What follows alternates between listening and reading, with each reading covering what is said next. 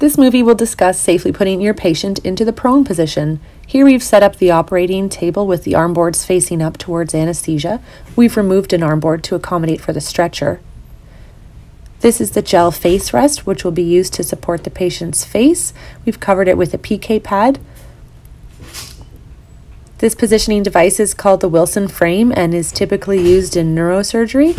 We've covered the bars with white draw sheets to protect them and keep it clean, as well as making sure here that that gray foam piece is covering the metal bar that sits up at the patient's chest.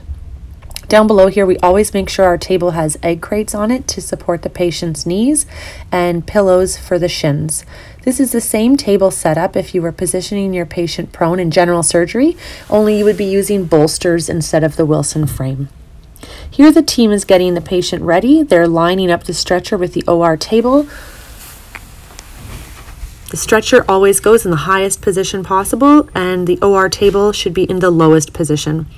The patient's gown should be untied but remain covering the patient until you're ready to flip.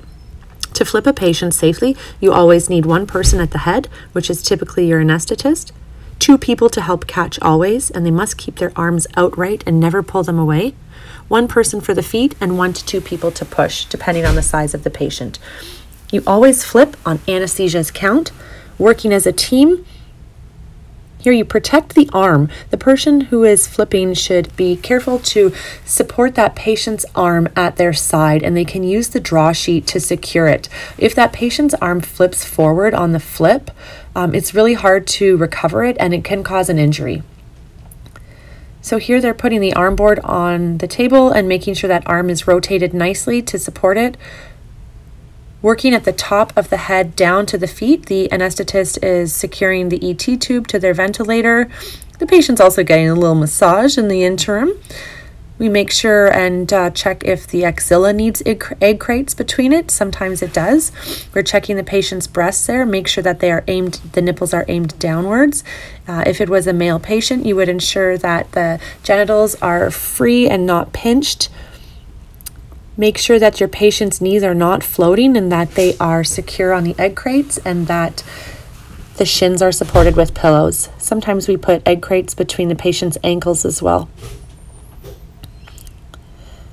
Now the team is getting ready to flip their patient back supine onto the stretcher. So again, working as a team, lining up the stretcher and the OR table, protecting that patient's arm at their side.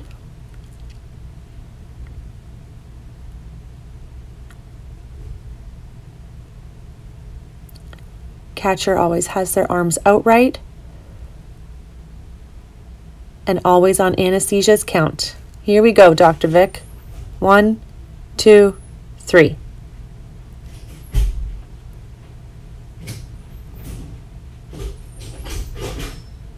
Okay, come on now. There we go.